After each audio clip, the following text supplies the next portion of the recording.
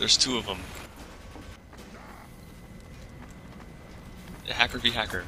Who's gonna win?